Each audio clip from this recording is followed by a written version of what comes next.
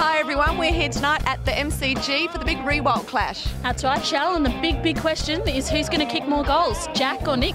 It's a good question, Layla. Now let's go and ask the fans where their allegiance lies with the Riewoldt family. Oh, yeah, and by the way, there's a Richmond St Kilda game going on tonight as well. True story. True stories.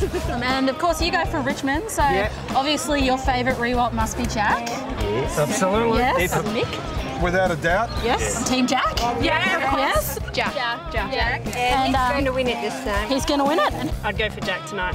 Jack. Jack. Jack all the way. And do you think he'll kick more goals than uh, his cousin Nick? Definitely, definitely. Oh, 10. 10. 10. 12. 12. 12. We'll go eight. Eight. Don't care as long as the team kicks more than Richmond.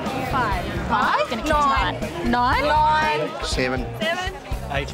Eight. Uh, six tonight, I reckon. Six. 18. Let's make it eight. Who do you barrack for? Collingwood. Grandma Riewoldt's going to be watching tonight, and who do you think she's going to be barracking for? Oh, definitely Jack. Jack, Jack, Jack, Jack. Now, who do you think's the cutest out of the two?